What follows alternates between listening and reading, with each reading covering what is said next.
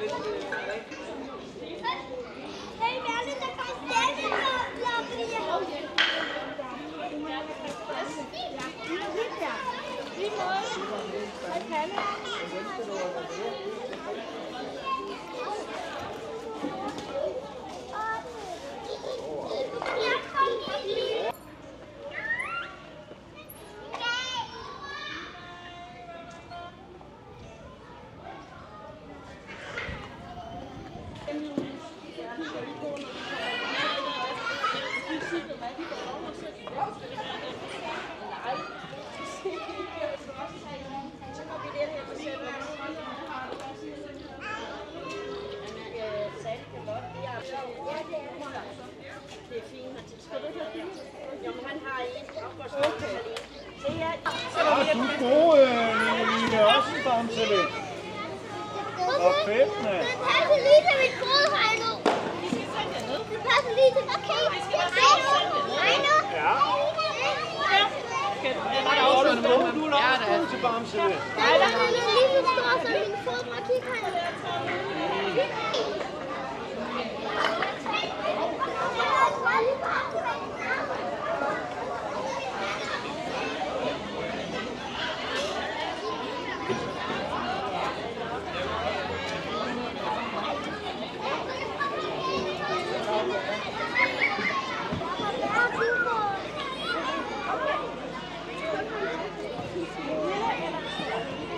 Jeg vil gerne have en stor en. Jeg vil gerne have en stor. Jeg vil gerne have en stor. Jeg vil også have en stor. Jeg vil også have en stor. Jeg vil også have en stor. Store. Har du nogle store overarm?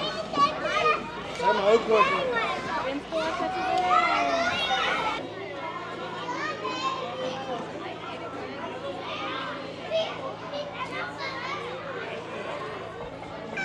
Et gult tørklæde med en kæmpe stor bussemand på. Det må du også holde. Og jer, der sidder her foran, er I søde og sætte jer ned, fordi dem bagved kan overhovedet ikke se noget som helst. Godt. Og så er resten af posen tom som indersiden af mit hoved. Tror du på det? ikke noget. Det er fint nok.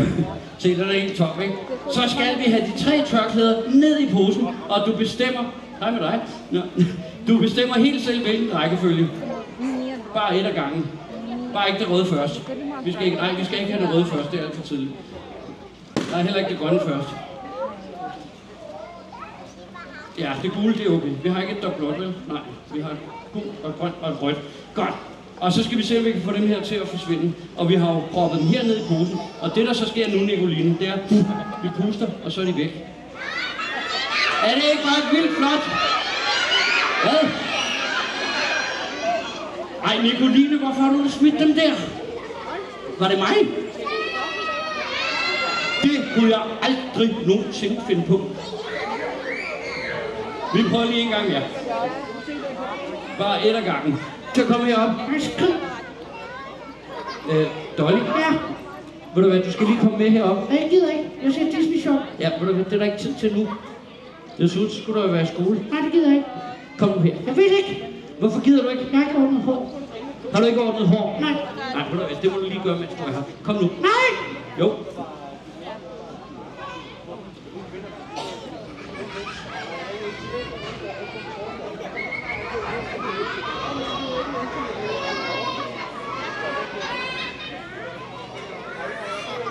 Uh! Hej. Jeg sagde hej. Hej, hvor kan I råbe? Ja, det kan jeg love dig for, det kan. Dolly, kan du se, hvor vi er? Zoologisk have. I zoologisk have. Ja.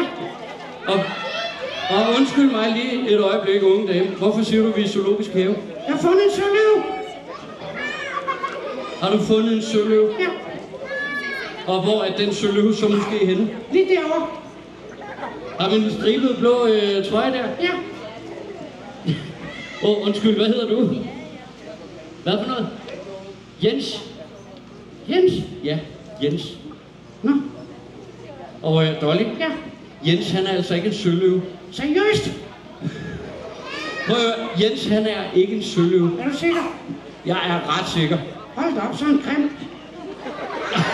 Nej, ved du hvad?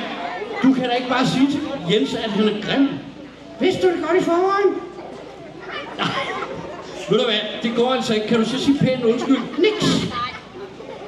Dolly, vil du være sød og sige undskyld til Jens? Nej. Ham!